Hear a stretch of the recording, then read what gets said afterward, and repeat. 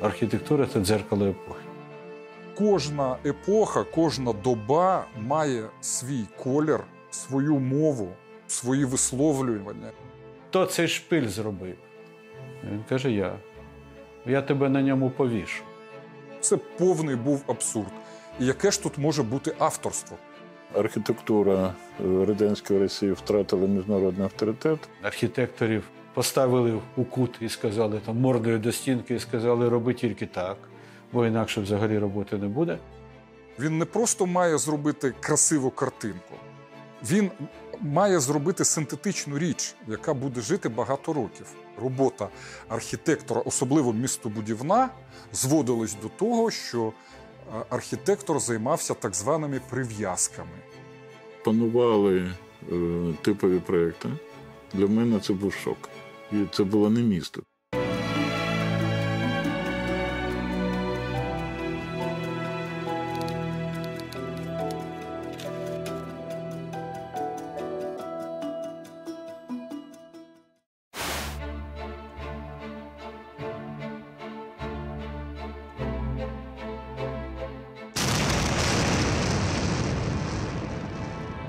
1944 року. Незабаром після вигнання нацистів та відновлення панування комуністів приймається рішення про відновлення хрещатику. Радянська пропаганда вже кілька десятиліть звинувачує німців у руйнації головної київської вулиці. Але чимало киян знає правду: німцям вдалося зупинити остаточне руйнування. Підрив хрещатику справа рук НКВС. Київ дуже непросте для засвоєння міста. Він потребує дуже ніжного, свідомого відношення.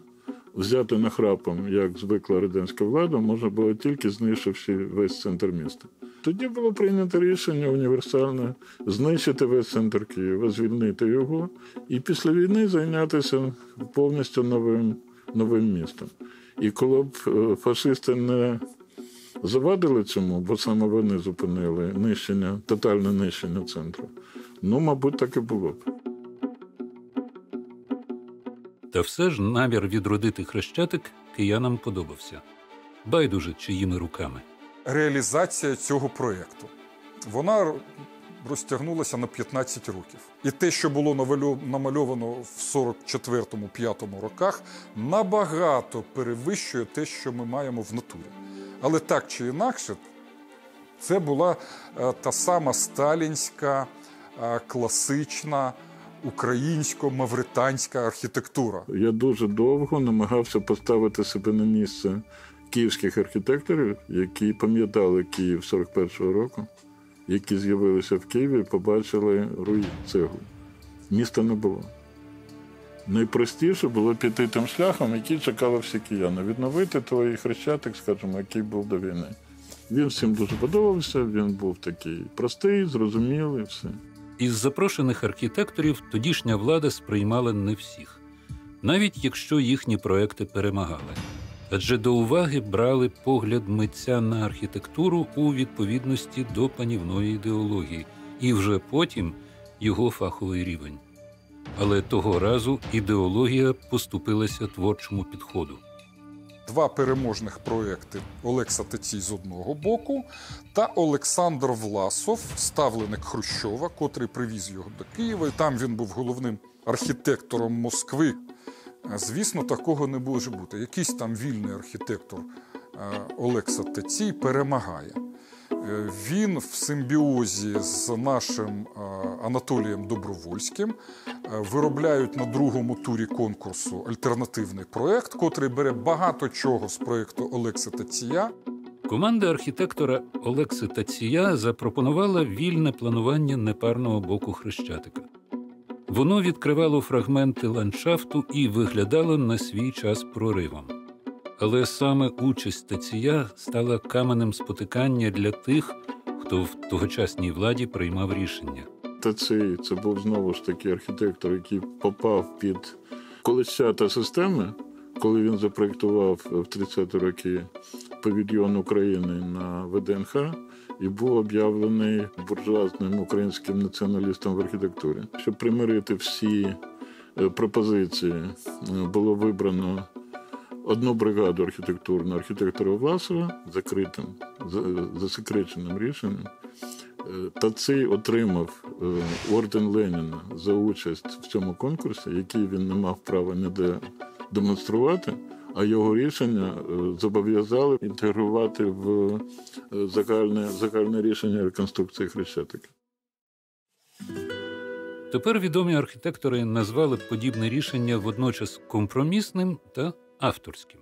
Відкриття південної частини Хрещатика зрушили фасадну червону лінію вглиб, відкрили прозори налипки на Печерські пагорби, і з'явився ось цей бульвар від Бесарабки аж там до європейської нинішньої площі. І те, що в результаті було створено, це е, повністю безпрецедентна фантастична робота, тому що там не тільки зроблена нова архітектура, вона е, майстерно інтегрована в той Київ, який залишився на межі е, довоєнного, залишившогося Києва і цього нового.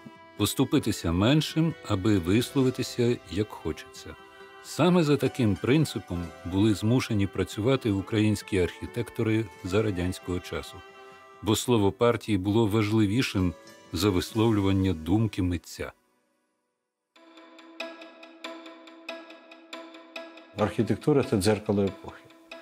І якщо немає у суспільства яких ресурсів, як будь-яких, зверху на, на, насуває на тебе якась ідеологічна е, машина, то вона теж відзеркалюється в архітектурі. З моєї точки зору, архітектура це мова. Архітектор спілкується е, з часом е, в першу чергу. Чому? Тому що архітектура, вона на відміну від е, інших видів мистецтва дуже довго е, стоїть на землі і створює е, людське довкілля. Після більшовицького перевороту велика територія сучасної України на 5 років стала полем битви. Потреби в архітекторах не було, будинки і міста руйнувалися. Держава згадала про архітекторів уже після своєї остаточної перемоги. Радянська влада прийшла в Київ у 20-му році, а е, якесь будівництво почалося тільки в 23-му. Це був повністю пролетаризований Київ. Ніякі е, собори, ніякі пейзажі їх не цікавили. З початком 1930-х більшовики почали закручувати гайки в усіх сферах життя. Архітектуру також не оминула тотальна колективізація, яка велася в усіх галузях країни. І всіх ті, хто не колективізувався, е, це були і письменники, і художники, і е, робітники, які працювали в артелях, а потім вже ці артелі були поза законом. Е, колгоспи були всюди. І всі, хто залишився поза архітектурними колгоспами, практично були. Е, залишені без можливості працювати. Їх всіх заганяли в державні е, проєктні структури.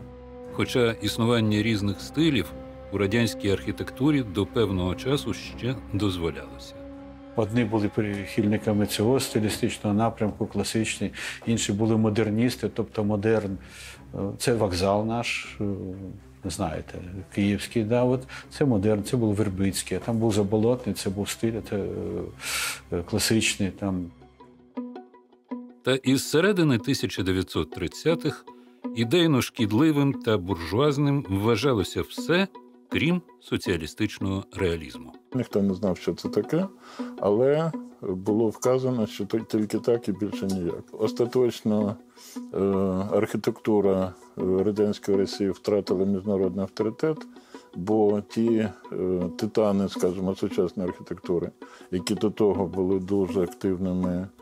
Е, пропагандистами е, радянського способу життя і радянського способу проєктування будівництва заявили, що ніякої сучасної архітектури в цій країні не існує, ніякої вільної конкуренції не існує. Проте тогочасний провідний радянський імперський стиль, сталінський ампір, все ж мав в Україні власне архітектурне обличчя.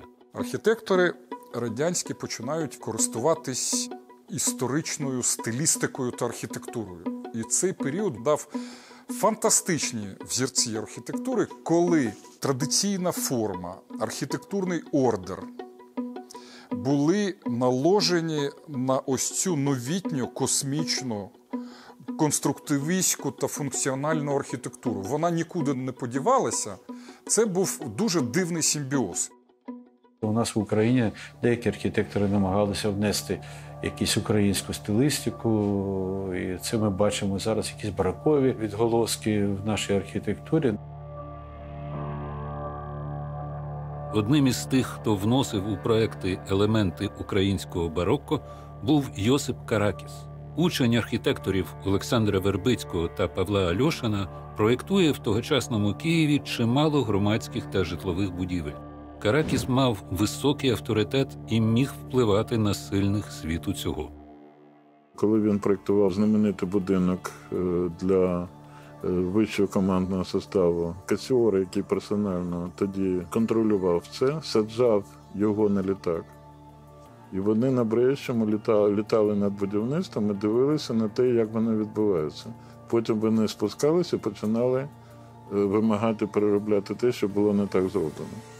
Каракіс був одним із небагатьох архітекторів, хто спробував заперечувати вищому керівництву НКВС. Зокрема, він намагався зберегти від забудови простір на місці зруйнованої більшовиками Десятинної церкви. Тодішній е, керівник ДПО НКВС Балицький е, прийняв рішення будувати цю школу е, саме на дитинці.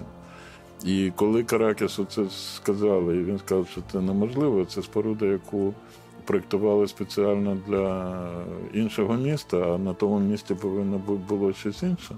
Йому просто наступили на ногу і сказали мовчи. Навіть у несприятливі для вільної творчості роки було місце для чогось на кшталт архітектурної конкуренції. Архітектор Григорів для військових, для Касіора, проєктував штаб Київського військового округа. А паралельно е, будувалося НКВС, в якому зараз знаходиться Кабінет міністрів за проєктом Івана Фоміна, е, ленінградського архітектора. І коли Касіор виявив, що будівля НКВС е, дещо вища, ніж будинок Київського військового округу, він вимагав від Григорєва, і було надбудовано, його дуже добре видно, невеличкий атіковий поверх, який зробив будівлю на банкові вище, ніж будівля НКВС. Друга світова війна знову зруйнувала міста. Здавалося, повоєнний час ставав для архітекторів зоряним, адже відбудова і розбудова починалися фактично з нуля. Проте відновлення Хрещатика стало останнім проектом, де архітекторам дозволили хоч трошки проявити свої погляди на музику, що застигла в камені. З 56 по 60 рік переорієнтувалися на цю типову архітектуру. Пішли масові забудови. Архітекторів поставили у кут і сказали там мордою до стінки, і сказали, роби тільки так, бо інакше взагалі роботи не буде. Почалася масова типізація і взагалі боротьба з е, архітектурними ізлішествами. Була заборонена професія. Е, Архітектура як така е, була поставлена поза законом. Панували е, типові проекти. Всі, хто не був готовий працювати з типовими проектами, взагалі не працював ніде. Зникли головне, зникли головні категорії ідентифікації міст. Зникла категорія вулиці, з'явилася категорія дороги, зникла категорія подвір'я, бо подвір'я не було. Е, Ну, я вже не кажу про площі. Площ взагалі не було ніяких. Ла-ла-ла щастя ходить, пісню води. Весело нам, весело вам, чом же не співати. В радісний час просимо вас до нової хати. Це повний був абсурд. І яке ж тут може бути авторство, коли робота архітектора, особливо містобудівна, зводилась до того, що архітектор займався так званими прив'язками. Вперше на Україні комбінат почав зводити дев'ятиповерхові крупнопанельні будинки.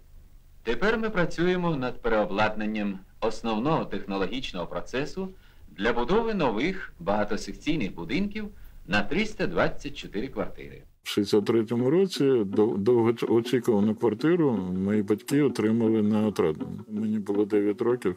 Я взагалі не розумів, де я опинився. Для мене це був шок.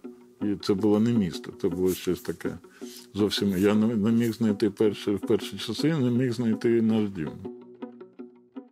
Конфлікт полягав у тому, що влада вимагала швидко забезпечити громадян дешевим житлом, і той аргумент переважав та обезброював. Людям нема де жити, їм не потрібні ваші архітектурні надмірності. Але навіть у тих умовах архітектори змогли та зуміли огризатися. Наприклад, коли здавали високій партійній комісії новозведений виставковий комплекс, більше відомий як ВДНГ. Приїхав той секретар ЦК Кириченко, і там вся команда, хто робив. А мій батько був головним архітектором цього павільйону. Він так підходить, каже: хто цей шпиль зробив? Він каже, я. Я тебе на ньому повішу. Він був в мій батько в 37-му році. Один вже каже, перевішав, так що у тебе вже не вийде. Хоча не завжди свою позицію вдавалося відстояти. Кілька будівель на Хрещатику передбачали шпилі. Архітектори бачили в цьому рішенні єдиний індивідуальний стиль. Представники влади вважали шпилі надмірностями. В останню мить якраз змінилася концепція. Прибрати всі шпилі, прибрати всі прикраси, прибрати все і створити те, що створили. І архітектори плакали. Потім з'являється ця постанова хрущовська боротьби е, з архітектурними так званими надмірностями. І це ми переходимо до нашого третього етапу відношення влади до архітектури. Архітектори були, були скривджені, скуйовджені, лікві- зліквідовано Академію архітектури. Навіть у ті роки вдавалося створити цікаві індивідуальні проекти. Знавці вважають їх архітектурними перлинами.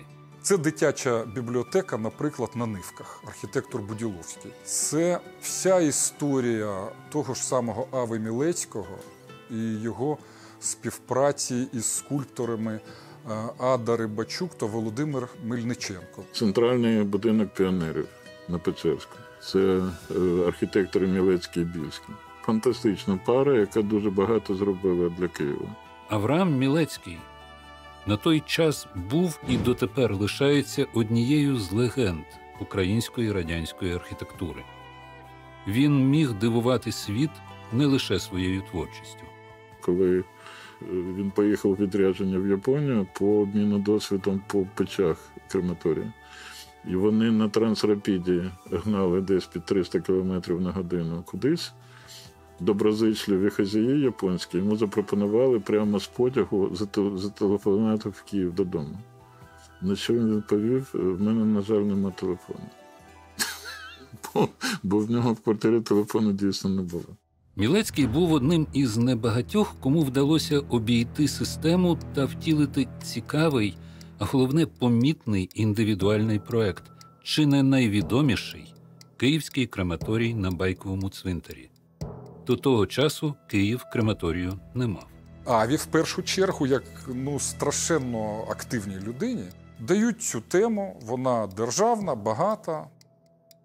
Завдяки е, митцям-скульпторам з'являється ідея парку пам'яті із залів прощання. Ну, це фактично архітектура скульптура, яку треба було ліпити практично руками. Все це було необхідно посадити на високі технології крематоріїв, яких взагалі не було в тодішньому Радянському Союзі. Парк пам'яті повторює пагорби е, верхнього Байків'я і е, користає їх як рельєф Києва метафоричний. І вони вперше е, пропонують закладати капсули з урни з прахом не в стінки і в якісь горизонтальні площини, а безпосередньо у схил. І е, з'являються ось ці модерні космічні форми самого залу прощання. Апофеозом усієї цієї незвичної ідеї стала стіна прощання. Саме вона роздратувала тодішню владу. Наслідок Витвір модерного мистецтва залили бетоном, і ніхто не міг стати на заваді. Тому скульптори образилися на Мілецького. Що можна було зробити? Партія уряд так розпорядилися. Всі е, виробники бетону міста Києва тоді працювали на забетонування в стіни пам'яті. Мені здається, що в тих умовах е, просто не було е, в принципі можливості його відстояти. Все залишило від характеру, наполегливості і харизми того, хто все це проектував. Домогтися реалізації того, що ти задумав, могли тільки люди, які дійсно були готові йти до кінця. Часом, не маючи інших методів, архітектори вчили поважати себе, і задля цього могли просто не прийняти до експлуатації готовий об'єкт.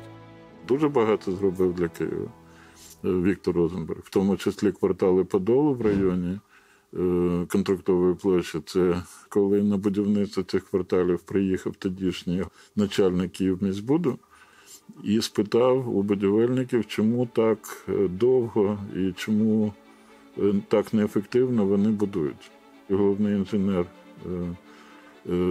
Зільберман відповів дуже, дуже цікаво. Він сказав так. Ну, какая работа? Это на оболоне работает. А ми тут виконуємо капризи архітектора. Ці квартали Віктор Розенберга і його бригади отримали е, премію італіянського журналу Домос архітектурну. А для наших начальників це були примхи архітекторів. Ще один спосіб проштовхнути нетипові проекти подавати заявки на конкурси і перемагати, а вже потім починати маневри, та й навіть радикальні дії. Коли хтось отримував перемогу, е, можна було апелювати до того, що все ж таки конкурс проведено, результати є, е, такі ідеологічно інформаційні аванси видано, і тому треба це робити. Наша бригада проєктувала ці квартали подолу, і по конкурсу е, ці квартали отримали певні нагороди е, в межах е, спілки архітекторів СРСР із креготом зубів все ж таки було вирішено надати можливість проєктувати і будувати їх індивідуально. Наприкінці Радянського Союзу в архітектів вже була така приказка, що індивідуальне будівництво це те, чим ми маємо займатися, а типове можна кудись там відкласти. І ось е, в- усьому цьому безумстві е, мікрорайонів е, з'являється виноградар. А в ньому остання черга це мікрорайон Синьоозерний, який робив архітектор Едуард Більський. Це абсолютно космічна сучасна архітектура. Коли я приніс, наприклад, свій будинок, який нам на площі Толстого зараз, то там сидів такий товариш в, тех, е, в технічному відділі. Він сказав: ну, ну ти подивись, я ж тобі сказав 6 на 6. А у тебе там колони там 10 метрів, то-то. І, е, так не піде, ти не побудуєш. Тільки через мій труп. Він сказав: ну, значить, прийдеться тебе вбити. З настанням 1980-х архітектори отримали більше свобод. Як наслідок, можливість висловитися та втілювати більше індивідуальних задумів, але щастило лише тим, хто займався самоосвітою, поважав досвід минулого та слухався порад. Ми отримали якесь первісне, е, досить добре е, підготовку в наших інститутах. Ну а далі треба було розвиватися, вчитися в колег і найголовніше дивитися по сторонах. Вчитися, як забудовувати Київ, треба було в самого Києва. Бо досить багато чого залишилось, збереглося, і треба було їх досліджувати. Кожна епоха, кожна доба має свій колір, е, свою мову, свої висловлювання. І ось архітектор працює з цим. Він не просто має зробити функціонал, зручний для людей. Він не просто має зробити красиву картинку. Він має зробити синтетичну річ, яка буде жити багато років. Про архітектуру говорити непросто, адже це візуальне мистецтво. На архітектуру краще дивитися. І навіть негативні тенденції залишаються красномовним свідченням тієї чи іншої епохи, яка залишилася позаду. І кожна історична доба, кожен час має свою будівничу ідеологію. Подобається вона містянам чи ні.